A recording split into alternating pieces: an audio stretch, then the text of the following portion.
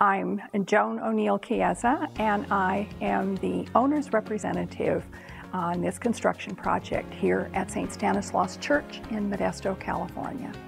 I was part of the selection committee that unanimously chose TB Penick and Sons to be our contractor. Uh, St. Stanislaus began in 1881 as a parish, and our current church, the church we had before this, was completed in 1913 and seats 388 people. So you can see why it was necessary to build this sanctuary, which seats a little over 1,300 people. Speaking from an owner's point of view, the challenge is always to keep the change orders as low as possible. That was one of the things about TB Penick and Sons that we all were so appreciative of. Um, our, our change order percentage is less than 2% on this enormous project. And the quiet professionalism, the respect for our needs and our timetable that was shown us by TB Penick and Sons was just extraordinary. The atmosphere here was probably one of the most professional, respectful, um, congenial atmospheres I've ever worked with. And I've been involved with design and construction for over 40 years. It was just the best um, example of teamwork, of support, of taking care of everyone. The reaction of most people when they see this sanctuary from the outside and then the inside is silence. It is so unexpected to see this quality, this grandeur. Um, it simply causes one to be silent.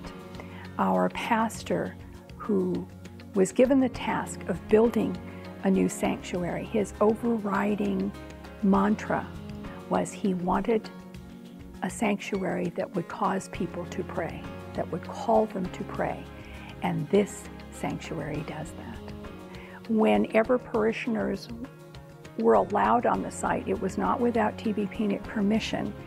And the site was so clean. Um, timelines were set. Um, during construction, you just can't have people coming on site. Work has to go on.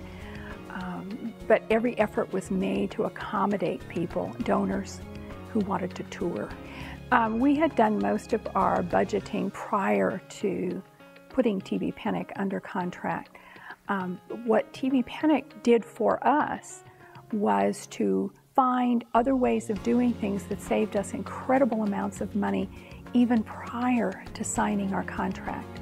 Once under contract, they continued to make sure things were done to the best possible standard. And yet I was always offered, you know, we can do it this way or we can do it this way, and here is the cost for doing that. This is something you could possibly do later.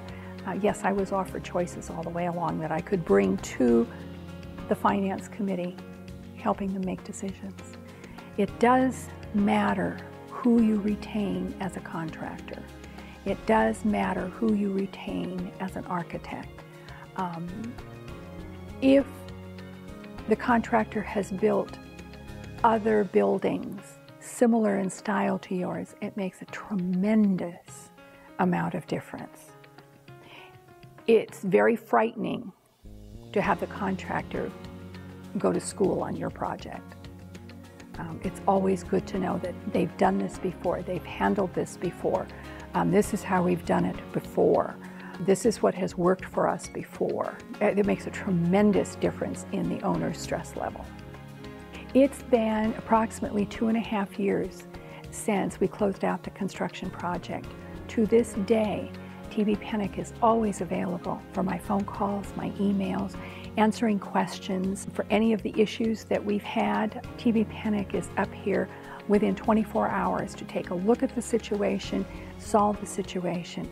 At one point in conversation with Mark Penick, I said, well, we're close to the year guarantee. And he assured me both on the phone and in writing, Joan will always um, take care of that building.